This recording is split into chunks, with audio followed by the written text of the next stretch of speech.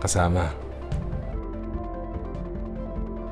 May mga bagay na simple lang pero nagiging mas masaya kapag may kasama. May mga bagay na hindi basta-basta pero pag may kasama, kinakaya. May mga bagay na kahit kaya mo naman mag-isa, nagiging mas makabuluhan kapag may kasama. Minsan iiyak, madalas tatawa. Mula sa pinakamaliit na bagay hanggang sa pinakamalaking problema. Sasamahan kang manalangin, tutulungan kang magtiwala. Kaya sa inyo, nakasama ko na mula noon. At sa mga makakasama ko pa, nagsisilbing tulay para maranasan ang tunay na pag-ibig niya na walang hanggan. Sama-sama tayo, saan man makarating, saan man dalhin, magkakasama sa paglalakbay.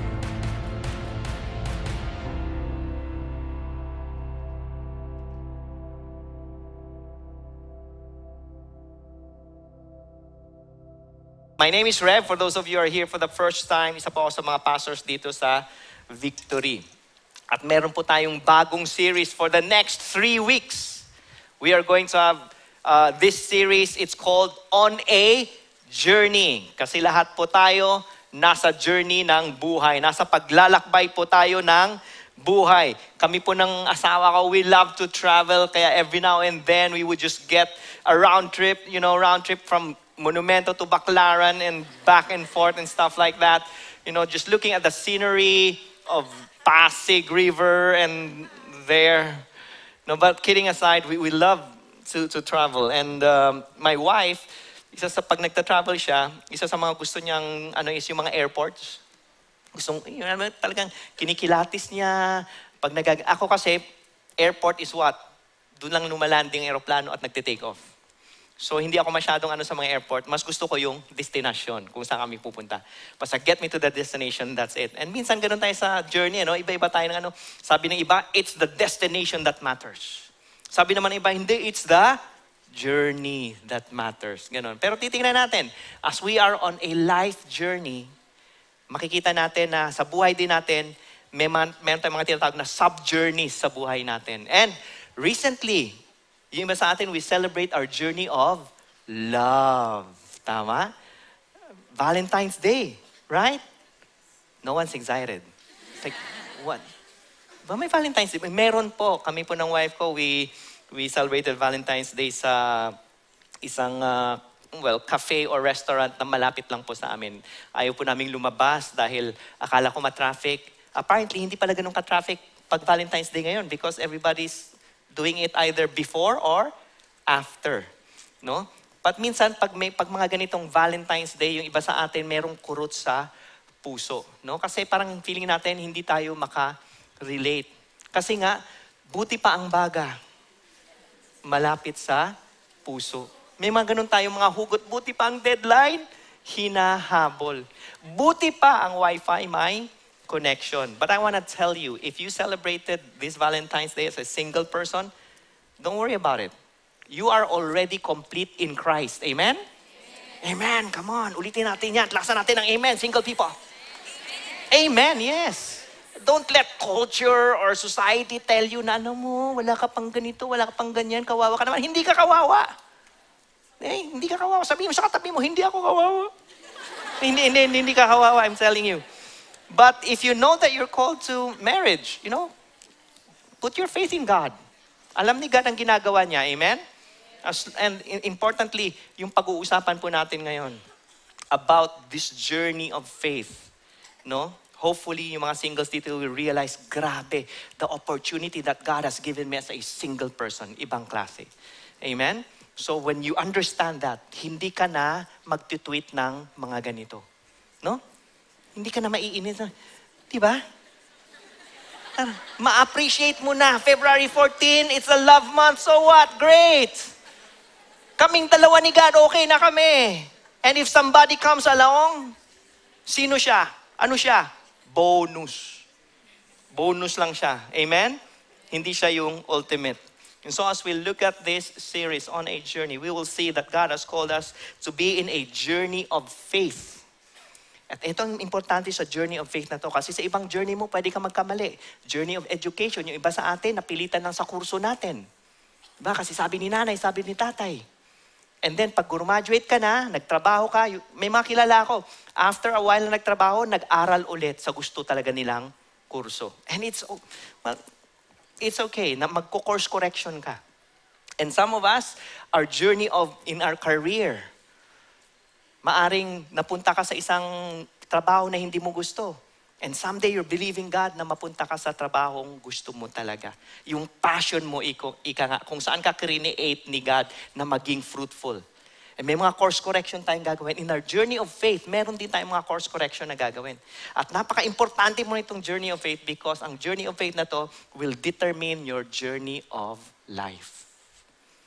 And God has called all of us, invited us to be in this journey of faith as followers of Jesus, as disciples of Jesus. If you are here today, I hope that you're here because you want to get to know who God is and to follow Him for the rest of your life with all passion and gusto. Sana po ganun.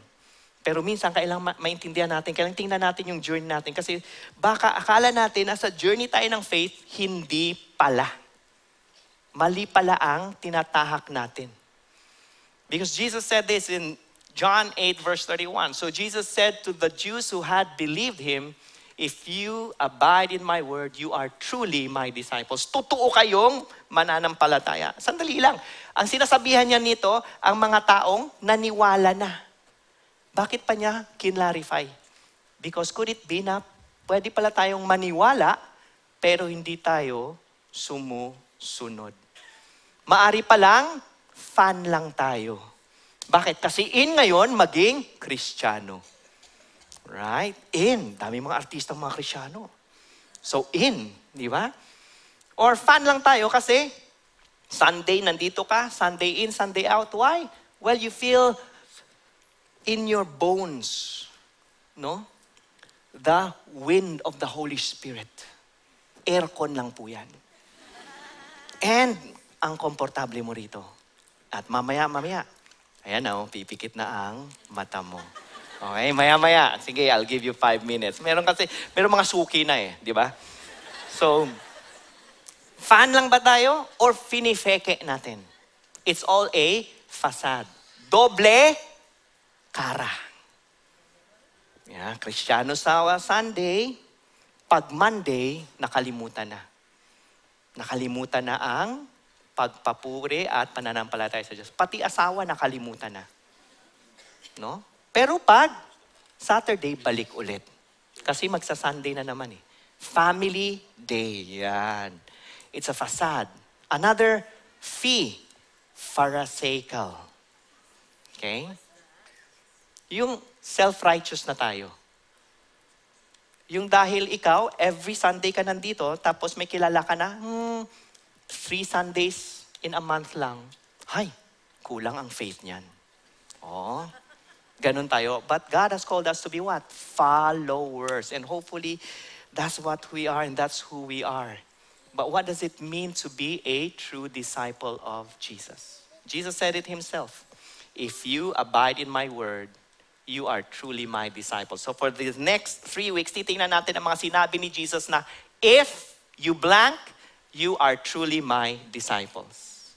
So today, if you abide in my word, abide to live, to live out, to desire, to obey. Sabi mo sa katabi mo, obey.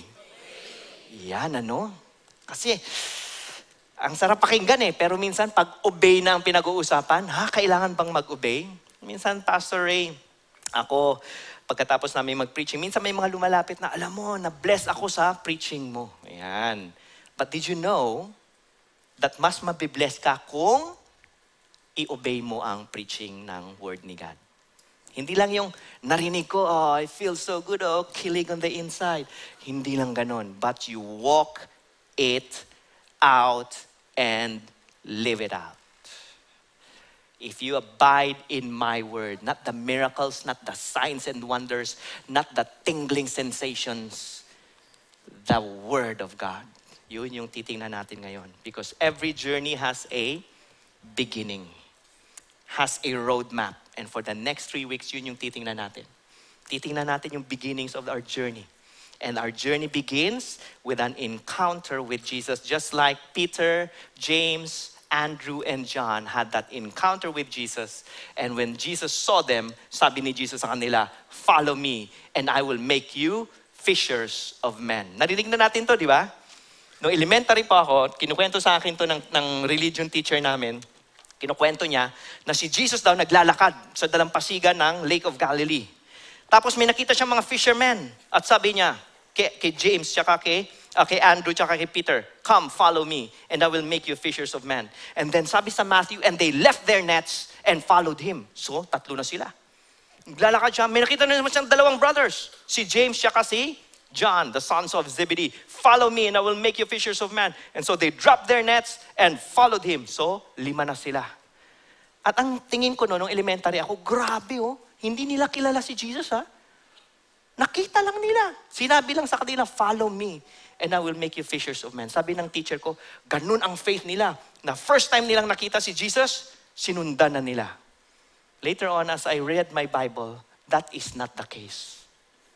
Hindi pala ganun. Hindi pala nila first time lang nakita si Jesus na para bang, ikaw, may taong first time mo lang nakita. At sinabi sa'yo, Uy, sumunod ka sa akin. Susunod ka ba? Kung ganun kang klasing tao, we're here to help you. Okay? You need counsel. Okay?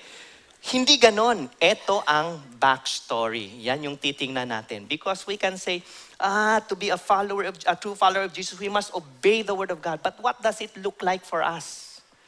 Because a lot of people are saying, I'm obeying God. Pati kulto nagsasabi, ah, sumusunod kami sa Panginoon.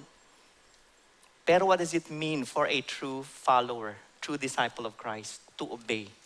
What does it look like in his life? And that's what we're going to look at in Luke chapter 5, verse 1 to 11.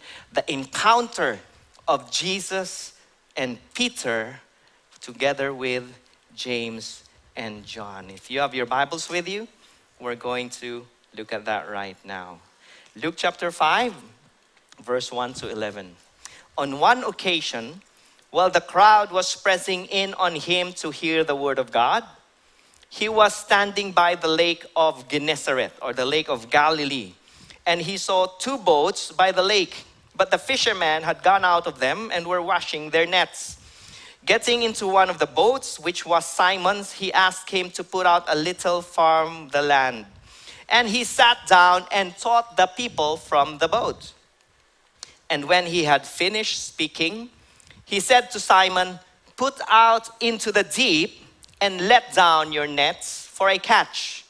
And Simon answered, Master, we toiled all night and took nothing. But at your word, I will let down the nets. And when they had done this, they enclosed a large number of fish, and their nets were breaking. They signaled to their partners in the other boat to come and help them. And they came and filled both the boats so that they began to sink. But when Simon Peter saw it, he fell down at Jesus' knees, saying, Depart from me, for I am a sinful man, O Lord. For he and all who were with him were astonished at the catch of fish that they had taken.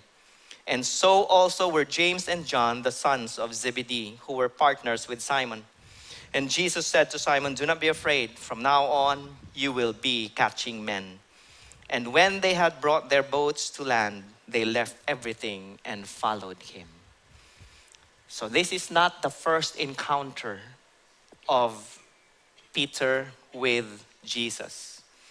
As early as Luke chapter 4, Jesus was already healing people, preaching, naririnig na ni Peter kung sino si Jesus. As a matter of fact, in chapter 4, pumunta na si Jesus sa bahay ni Peter to heal his mother-in-law.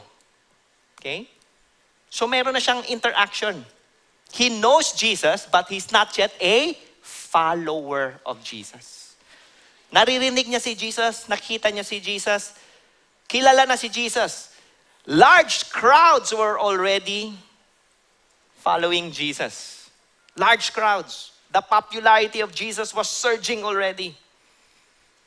On one occasion, while the crowd was pressing in on him to hear the word, he was standing by the lake of Gennesaret and he saw two boats by the lake. But the fishermen had gone out of them. They were washing their nets. Anong ibig sabihin nito? Tapos na yung pangingisda nila. Ang mga fishermen, nangingisda sila sa gabi. Bakit? Para madilim. Para hindi sila kita ng isda. Okay? Kasi kung kita sila ng isda, hindi lalapit yung isda. Okay? Bakit? Kasi nalaman na nila through Nemo, di ba, nagkwentuhan na. Ingat kayo sa mga ganyan. Okay. So now, they were washing their nets, preparing it for the next night to go out and fish again. Ibig sabihin, tapos na ang trabaho. Pagod sila, inaayos na nila. Matutulog sila after this. Tingnan mong ginawa ni Jesus. Getting into one of the boats, which was Simon's, he asked him to put out a little from the land, and he sat down and sought the people from the boat. Bakit ako natawa? Si Jesus hindi nagpaalam. Di ba? Si Jesus ano, pag pumasok siya sa buhay natin, hindi siya nagpapaalam. Hindi siya sasabihin, ah, ah, Rev, ah, ah, okay ka lang ba na papasok ako sa buhay mo? Hindi. Makikialam siya sa buhay natin. No? Ganon si Jesus. He got into the boat of Peter. Pagkatapos nun, ano pang sinabi niya kay Peter? Peter, pakipush. Oh, so si Peter naman, since tapos na trabaho niya, wala, oh sige Lord, gamitin mo kung anong meron ako. Ayan. At yan yung gusto nating marinig minsan. Gamitin mo kung ano yung gusto, meron ako, Panginoon. And rightly so. Because pag-aari naman niya lahat. So gamitin mo, Lord. Kailangan mo ng boat? Yan. Diba? Kailangan mo yung buhay ko? Sige, Lord. Sabi pa nga natin, when Jesus is in your boat, something amazing happens. Which actually true because later on we will see that. So nag-preach si Jesus, tapos nung natapos siyang mag-preach, when he had finished speaking, he said to Simon, put out into the deep and let down your nets for a catch. Now remember, ma- umaga na po ito. Maaring 9 a.m., 10 a.m., ganon. Pagod na sina Simon. Katatapos lang nila kagabi, buong magdamag, wala silang nahuli. We toiled all night and took nothing. Walang nangyari, Lord. Pero sabi ni Jesus, mag-catch tayo, mag mangisda ulit tayo. Now, si Jesus po, sa panahong ito, ang tingin sa kanila sa kanya ng mga ng mga tao, he is a rabbi, a teacher, and a miracle worker. Okay? A miracle worker, nagpapagaling ng may sakit. And a preacher, he speaks about the word of God. So kung ikaw si Peter noon, siguro nasa isip mo, talaga to, halatang karpintero. Halatang karpintero. Akala mo yun, mangingisda tayo sa, um- eh gabi nga kami nangingisda eh. Pag umaga, hindi masyadong maraming catch. Tapos sasabihin niya, di ba? So, if you were Peter, ano kayo nasa isip mo, Lord? Actually, hindi pa Lord to. Di ba? The word master here is a is a word of of uh, respect because he's a rabbi. Ganon. So hindi pa Lord. Parang, ano kayong gagawin ko? Papayag ba ako dito? Di ba? Mas alam ko kung yung ginagawa ko. Ganun ba yung feeling natin minsan kay God? May pinapagawa si God, tapos sabi natin, Lord, alam mo, hindi mo kasi naintindihan eh. Mm. Di ba may mga ganon? Yung sasabihin sa'yo ni God, alam mo, patawarin mo na, Lord, hindi mo kasi naintindihan eh. Etong ginawa sa akin yan, at eto yung naramdaman ko. Or sa business mo, manghimasok si God, Lord, di mo kasi naiintindihan kalakaran dito sa Pilipinas eh. No? Iba dito, Lord. Di ba? May over, may under, may including the table dito. So kung gagawin ko tong pinapagawa mo, lugi ako. No? Kasi logically speaking, it doesn't make sense na babalik tayo. Kung gusto mo God, or hindi pa pala God, kung gusto mo Jesus, mamayang gabi ulit, sama ka. Pero ito ang gusto kong i-highlight. Sabi ni Peter, Master, we toiled night and day, took nothing, and I'm an expert. But at your word, I will let down the nets. At your word. But at your word. Do you have those but at your word moments with God.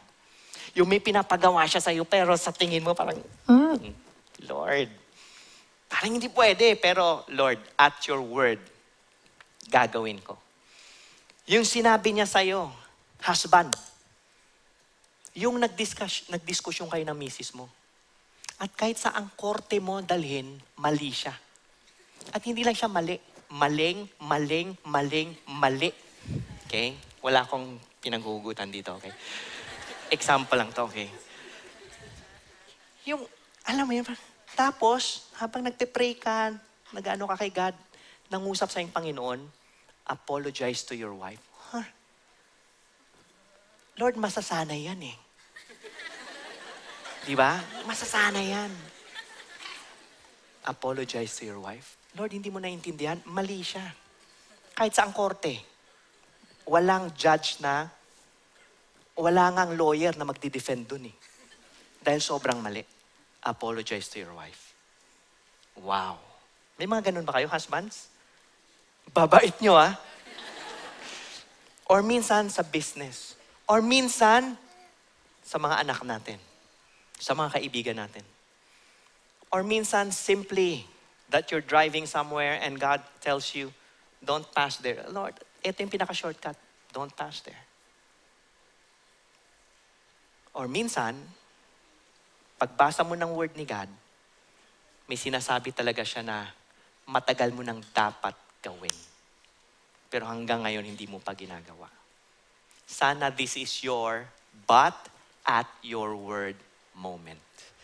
Because as followers of Jesus, true disciples, obedience to God's word, abiding in His word means this it is submission to His authority.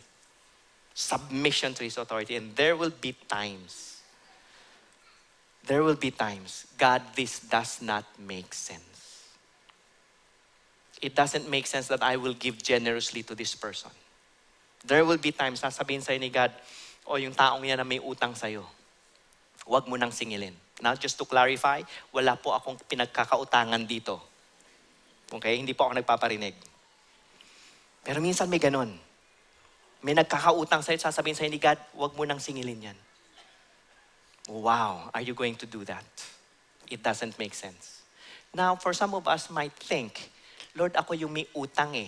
Word mo ba ngayon na huwag kong bayaran? Hindi. Bayaran mo yan, dude. Huwag mong baliktarin ang Panginoon, okay? Okay, God, you honor God when you fulfill your responsibility. Amen? Diba kayo iba, yes, yun yung word ni God sa akin, huwag mong ipilit, please. There will be times that God will tell you as you read the word, as you pray, as you become in tune with His Holy Spirit. But let me tell you this, follower of Christ, you're not a fan. You're not here to fake it. We're here to follow. And obedience to God's word is submission to His authority. Amen? And I hope some of you will listen because some of us here, we have, we are in a but at your word moment. So moving on, when they had done this, sumunod sila, di ba? They enclosed a large number of fish. What a catch! Pinagamit ni Peter yung boat kay Jesus. Sinabi ni Jesus, mangisda kayo. Hmm, doesn't make sense. Pero sige, susunod ako. Nung sumunod siya, grabe yung blessing. No? Nangyari na ba sa inyo yon? Yung doesn't make sense, pero nung sumunod ka, grabe yung return. Meron palang blessing na ipapagawa sa iyo ang Panginoon. Meron palang ganun. Merong blessing na ipapagawa. Merong blessing na ibibigay. And so sobrang grabe ng catch, habang, habang pinupul ni Peter tsaka ng kasama niya sa boat, ang dami ah. So kailangan ng tulong. Nagpatulong siya. At yung tumulong, so sobrang dami, they began to sink. And I can imagine Peter, tsaka yung mga partners niya na si James and John, na ang sabi siguro nila, tama na! Di ba? Ibalik ang mga isda. Bakit? Eh, pag, pag sobra pa, Lahat tayo lulubog. And it's a beautiful picture that we can never outgive God. That when we obey God, it is for our benefit. Hindi tayo lugi pag sumunod tayo sa Panginoon. Even if it feels like it doesn't make sense, even if it's, Lord, the circumstances doesn't fit, it's going to be for our benefit. We can never outgive God. Never. Ang ganda ng picture na to. The nets were starting to break. At iniisip natin dito, ano, no, Lord, sana ganyan ako, yung pag-harvest ko, yung pagsweldo ko, no, the ATM is starting to break. sana ganun, ano? Ganun yung mga iniisip natin eh. Kasi fish equals money. Parang ganun. But see, the blessings of the Lord, makikita natin mamaya, grabe. Ibang klase ang nangyari kay Simon, kay James, tsaka kay John. And I'm, I'm supposing also that Andrew was here because he was also a fisherman. He's with his brother Simon. They began to sink. Now remember, Simon went to the same lake. Same lake, same place. Nothing, walang anong walang, alam mo yun, nothing magical about the lake. The only difference is this Jesus was in his boat. And when Jesus is in your boat, whatever he's calling you to do, do it. Because he will never leave you nor forsake you. And there will be an amazing, not just return or blessings, but an amazing thing that will happen in your life. At nung makita ni Peter yan, because he's a fisherman at he realized this, itong nangyayari na to, ngayon, itong catch ng fish na to ngayon, imposible ito. Imposible ito. Umaga, hindi gabi. Dapat wala kaming mahuli ngayon, pero may nahuli kami. At hindi lang huli to, sang katutak na huli to, the boats were beginning to sink. And so when he realized that, he looked at Jesus, but now he saw Jesus in a different way. That Jesus is not just a teacher. Jesus is not just a miracle worker, ika nga, a healer. Not just a preacher. Jesus is something else. Not an ordinary man. Kaya nung makita ng Panginoon, anong sabi niya? Lord, lumayo ka sa akin. Makasalanan akong tao.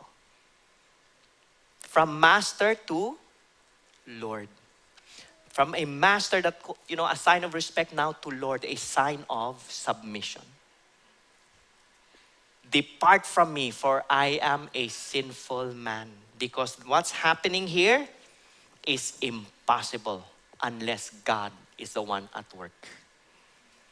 And I pray this that in your journey of faith, in your journey of life, you will encounter God time and time again to see Him for who He is so that it will give you a realization of who or what you are. Chuck Smith said this You never truly see yourself until you see yourself in the light of Jesus and who He truly is.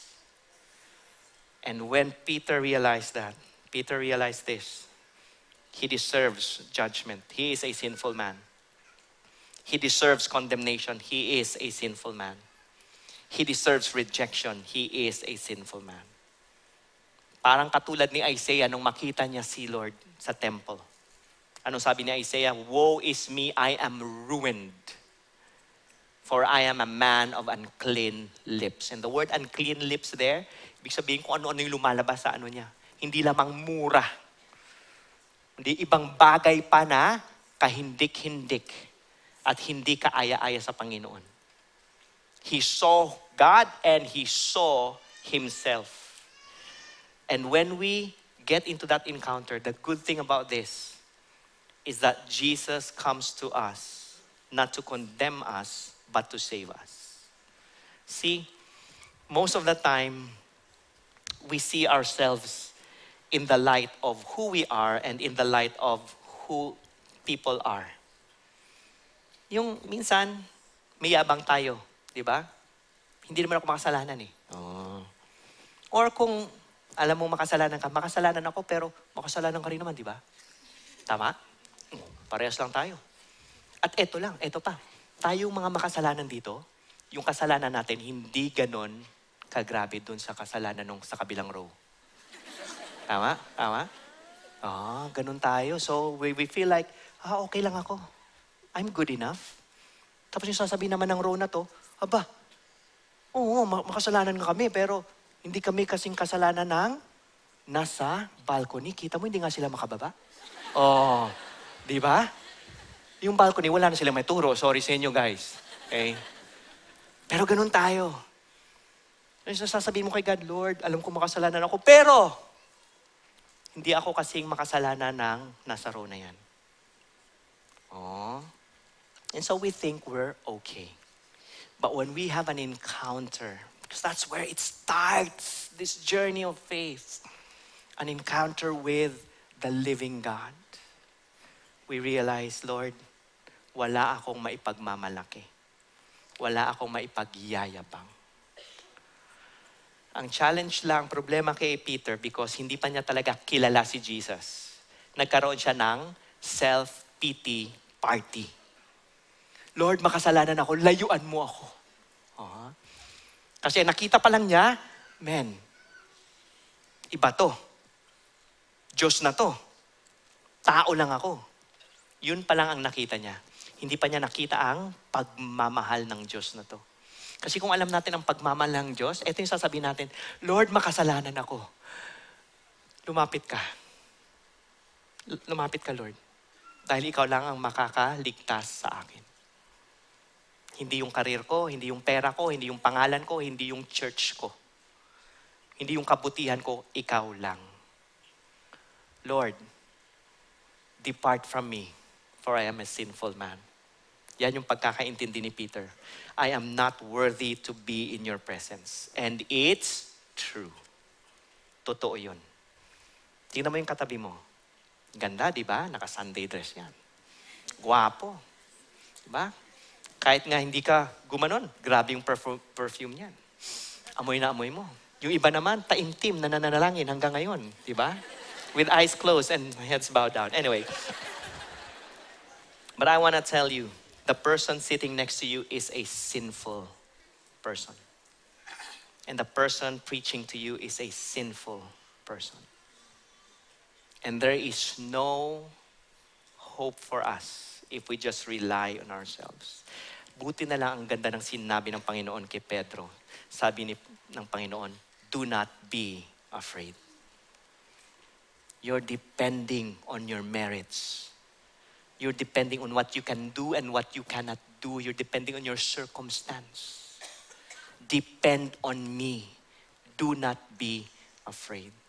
And I love this phrase from the Lord because it means hindi gusto ng Panginoon, hindi niya pinlano na magkaroon tayo ng buhay na puro anxiety at fear. Kundi ang buhay na napagtatagumpayan na ang anumang challenges na dumating. Ano man ang circumstansya natin, mapagtatagumpayan natin. Bakit? Because Jesus is in our boat. Do not be afraid. And when we realize that, now we don't have to depend on what we cannot do and what we can't do in the circumstance. Grabe yung nangyayari sa buhay ngayon. Grabe yung health ko. Grabe yung nangyayari sa family namin. Lord, wala na bang pag-asa? No, do not be afraid. Because Jesus is with you. And He will do something about it. Amen?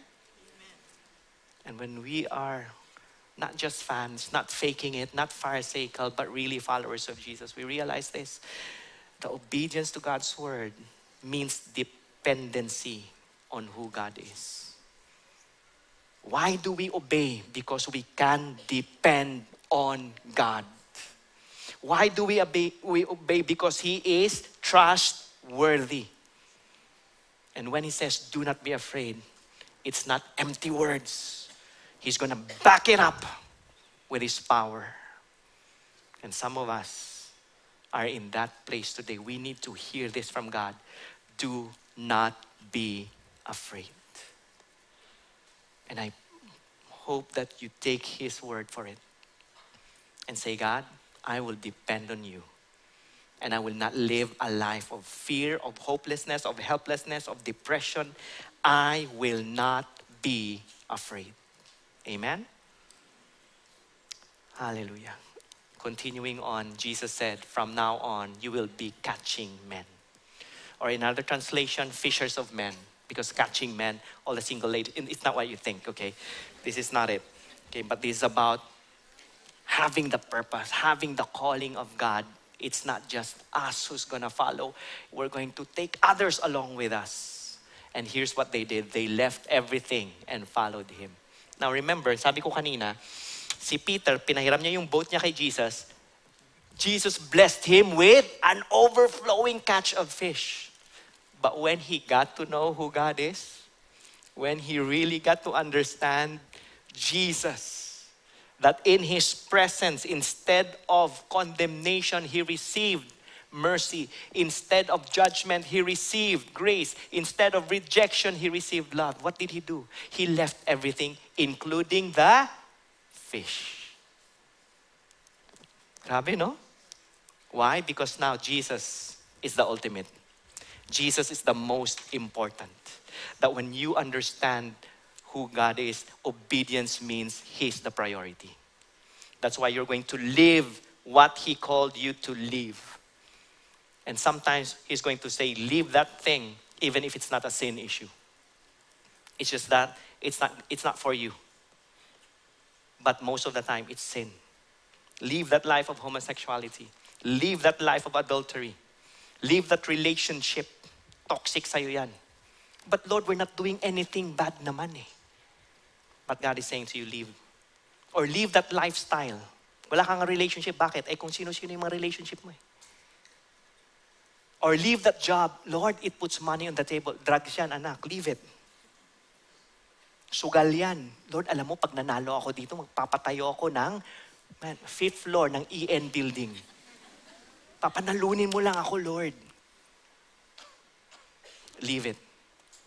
Some of us, meron tayong but at your word. May sinasabi si God. Doesn't make sense. For some of us, do not be afraid. You're in a situation. I don't know, maybe it's your health. Maybe it's the health of your loved one. Maybe puno ka na ng utang. I don't know. But God is saying, do not be afraid. Now, for those who are puno ng utang, when I say do not be afraid, doesn't mean utang pa more. Yeah, that's not it. But for some of us, leave. Leave. Where are you at? Where are you at? Because when Peter realized who Jesus is, he did all those things with a word, holding on to the word of God. Because you said it, I will do it. Because you said it, I will not be afraid. Because you said it, I will leave everything, what you want me to leave, so that I can follow you. But look at the life of Peter. When you look at the whole thing, hindi naman nung iniwan niya lahat, grabe na siya. Kasi minsan pag sinabi nating disciple, feeling natin may halo, kailangan may halo tayo, di ba? Tapos lahat ng, ng, ng ginagawa natin, parang hindi tayo nagkakamali. No, si Peter nagkamali din. Di ba? Nagmamaro si Peter. Anong sabi niya? Lord, kung ikaw talaga yan, palakarin mo ako sa tubig. Naglakad sa tubig. Nalunod sa tubig. Tapos sabi, sabi ni Peter, Lord, I know who you are. You are the Messiah, the Son of the living God. Sabi ni, ni Jesus sa kanya, Wow, amazing ka, Peter. Blessed are you, Simon, son of Jonah, because this was not revealed to you by man, but my Father who is in heaven. And at the same time, Jesus said, I'm going to Jerusalem, I'm going to die. Sabi ni Peter, hindi mangyayari sa iyo yan, Lord. Nagmamaro ulit si Peter. Hindi mangyayari sa iyo yan. Hindi, ko, hindi ako papayag. Anong sabi sa kanya ni Jesus? Get behind me, Satan.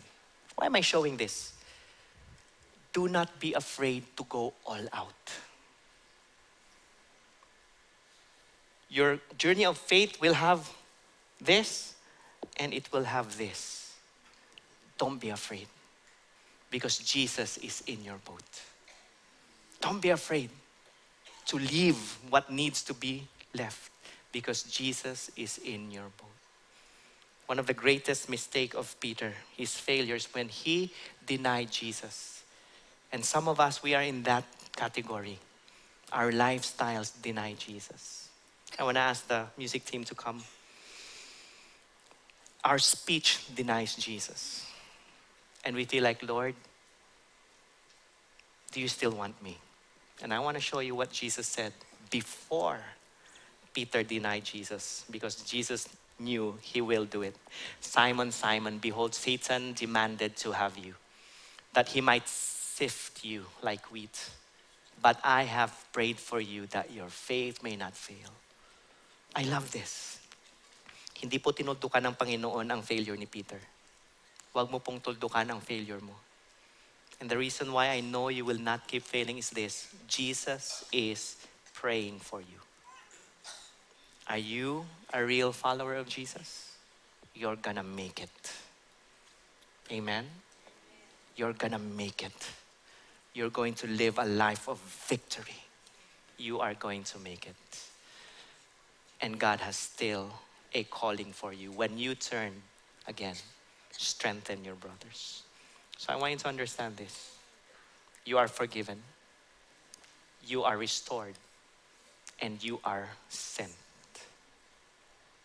Hindi pa tapos ang pananampalataya mo. Amen? Why don't we all stand? Some of us, we are in this place, but at your word. If that's you, can you raise your hand? Alam mo lang. Lord, thank you for the faith. And thank you for the promise that you will never leave us nor forsake us. And we step out in faith and obedience. Some of us, do not be afraid. If that's you, raise your hand. God, ano man ang sitwasyon namin, Panginoon, we depend on you. We are going to overcome. We are going to be blessed. We are going to be full of life and joy. Kahit yung health namin hindi maganda ngayon, Lord, we receive healing. At kahit hindi kami mahil ngayon, Panginoon, we continue not to be afraid. And some of us, you need to leave something. Sin, lifestyles. God, hindi namin alam kung paano ang ano ang mangyayari pag sumunod kami dito. Ang alam lang namin is this. You are true to your word. At alam namin is this. We are a child of God. And we will not live. God, we will not live in fear. In Jesus' name. Amen. I invite us. I want to declare that by faith that we are no longer a slave to fear. Amen. We are no longer a slave to sin. And I want to declare that I am a child of God and the Lord is with me. And I will live to glorify Him. He is authority.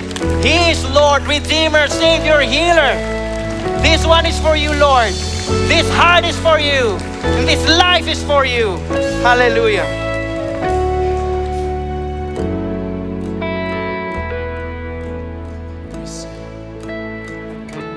You unravel me with a melody. You surround me with song of deliverance